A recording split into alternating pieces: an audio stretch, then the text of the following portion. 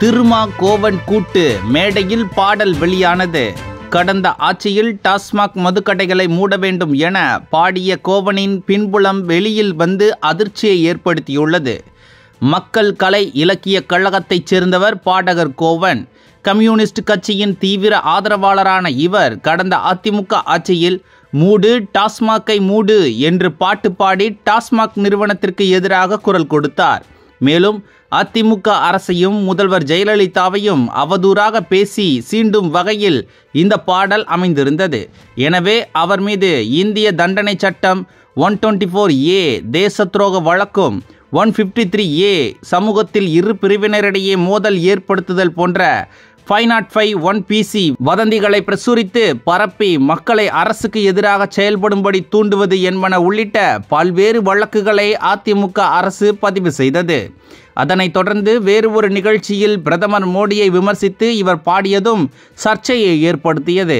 இப்படி கடந்த ஆட்சி காலத்தில் ஆளும் அதிமுக கூட்டணி அரசுக்கு எதிராக இவர் தீவிரமாக களமாடி வந்தார்.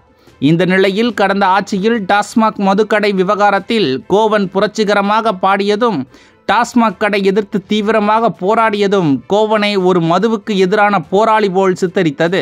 இப்படி கடந்த ஆட்சியில் படு வேகமாக டாஸ்மாக் கடைகளை எடுத்து பாடி வந்த கோவன் தற்பொழுது நடைபெறும் திமுக ஆட்சியில் டாஸ்மாக் கடைகளை எதிர்த்து ஒரு வார்த்தை கூட பேசாமல் இருப்பதும் மேலும் டாஸ்மாக் கடைகளை எதிர்த்து கோவன் ஒரு நிகழ்ச்சி கூட நடத்தாமல் இருப்பதும் சந்தேகத்தை எழுப்பியதாக கடந்த சில நாட்களாக சமூக வலைதளத்தில் பேசப்பட்டு வந்தது. இந்த நிலையில் திருமாவளவன் விடுதலை சிறுத்தைகள் விருது வழங்கும் நிகழ்ச்சியை சென்னையில் நடத்தினார். இந்த நிகழ்ச்சியில் கோவன் பங்கேற்று புரட்சி பாடல்களை மேடையில் பாடினார்.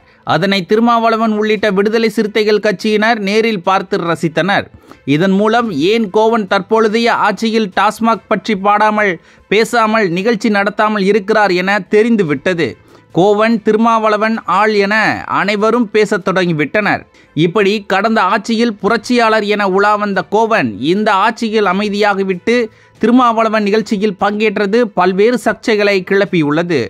திருமாவளவன் மற்றும் திமுகவின் தூண்டுதலால் தான் கடந்த ஆட்சியில் டாஸ்மாக்கை எதிர்த்து முன்னாள் முதலமைச்சர் செல்வி ஜெயலலிதாவை அவமதித்து கோவன் பாடினார் என்பதும் தற்பொழுது இந்த ஆட்சியில் அதனால்தான் பாடாமல் இருக்கிறார் என்பதும் தற்பொழுது அம்பலமாகி உள்ளதாக பலர் கருத்து தெரிவித்து வருகின்றனர்.